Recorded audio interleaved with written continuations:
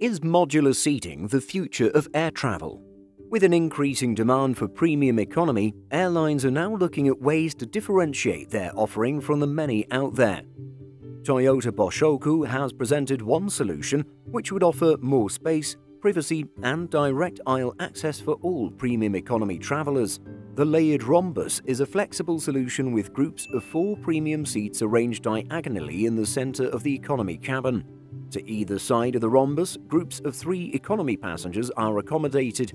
The solution also allows airlines to create private or companion flying to accommodate different needs. For families traveling together or with a companion, the diagonal seats have another advantage.